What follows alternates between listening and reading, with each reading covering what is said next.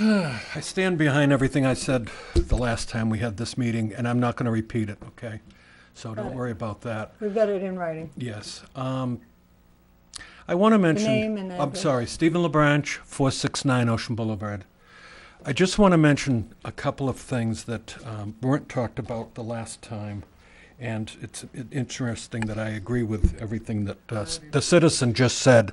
Citizen Jones, I agree, happen to agree with everything he just said. Um, But one thing that hasn't been talked about, I brought this up when, when uh, Chris Sununu was at the, uh, at the pavilion, and that is that you have a, uh, the DOT should be very aware that they have a road, um, they have a, they have a wall problem. It's not so much um, the traffic thing. I told you before, I don't believe there is a traffic problem, but there is a problem with that wall. And I, um, I remember talking to the uh, town manager about a year ago, and I said, you know, at some point, uh, Fred, they're going to have to add another couple of feet to that wall.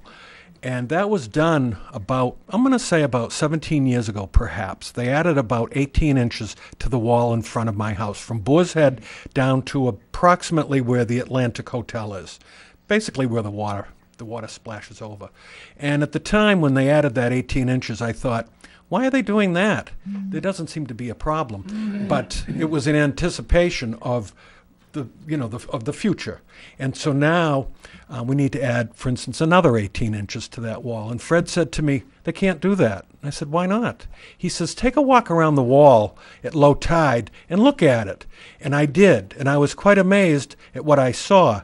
Now, if you want to see the very worst of it, when you walk around the wall, walk to where Jonathan's hotel is, right there on the ocean side. And you'll see something very interesting because every 50 feet where you have the uh, you have that taller piece on, along the wall, every 50 feet where that is, there's a vertical crack from the top of the wall right down to the base.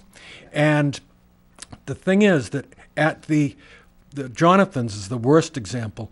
What's happening is that at the very base of the wall, um, the cement has disintegrated, and so you have the a girder. You have a steel girder that's been exposed for years to salt water, and when steel expand, it, when it rusts or corrodes, it expands, so it blows away more of the cement, and so you have quite an interesting problem there.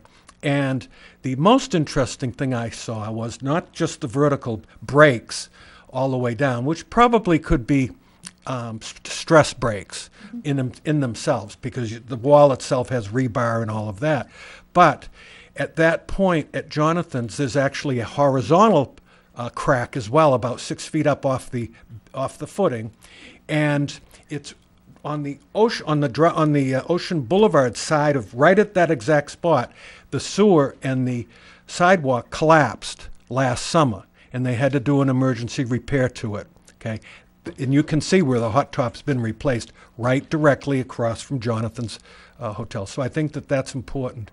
The one other thing I wanted to mention is that um, I just wonder, I just wonder how far eight million dollars is going to get us. But and I know I don't I don't need an answer, but I'm just wondering to myself. And I was thinking to myself, you know, if if the state um, redid the sidewalks from the bridge all the way up to High Street, and as well took care of the drainage, I think that you would put smiles on a lot of people's faces that are taxpayers in the town of Hampton that would very much like to see that because the sidewalks on both sides of the street have deteriorated. There is no sidewalk on the on the west side. Basically, it's it's an absolute. I'm surprised the state hasn't been sued, or some by a handicap. Uh, you know, some somebody that just can't go down that, that sidewalk because it's in such terrible shape.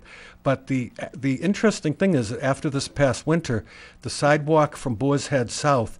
Um, because the water went over and pushed so much, there are several, they're big cracks every so many feet, and they're actually inches wide now.